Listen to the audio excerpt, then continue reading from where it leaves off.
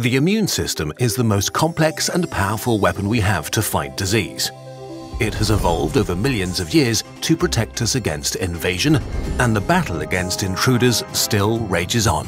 Humans won a major victory when we learned to train the immune system. With the help of vaccines, we can recognize and neutralize threats.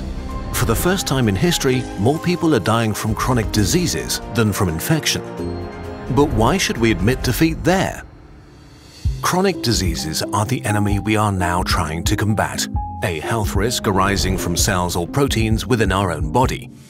Because these threats are parts of our living bodies, our immune system wants to avoid generating antibodies against them. But scientists discovered we could bypass this safeguard by producing antibodies outside of the patient, then injecting or infusing them. These monoclonal antibodies are helping us successfully fight against chronic diseases, including arthritis, psoriasis, lupus, migraine, high cholesterol, and even some forms of cancer. Unfortunately, this weapon isn't available to everybody. Monoclonal antibodies are difficult to make and difficult to take. Massive bioreactors are needed to produce enough to treat only a fraction of those in need, and the drugs are extraordinarily expensive. The average cost of a monoclonal antibody medication in the US is around $100,000 per year. Vaxxinity wants to make the fight against chronic diseases more equal, so preventing chronic diseases could become a democratic right for many instead of the privilege of a few.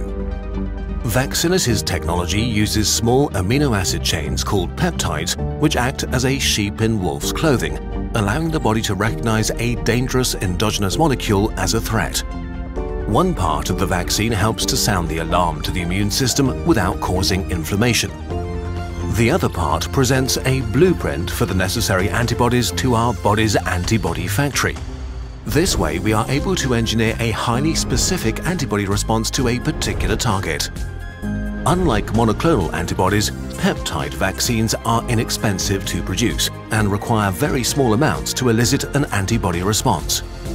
After promising use in animal health, Vaxxinity has now developed vaccine candidates for human diseases that have successfully completed multiple clinical trials.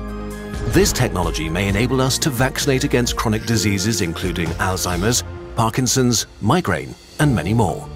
With the help of this technology, we could carry off another victory in the fight against disease. Using vaccines against infections was the first step, now we may also be able to address the chronic threats afflicting the global population, democratizing health through accessible medicine for all.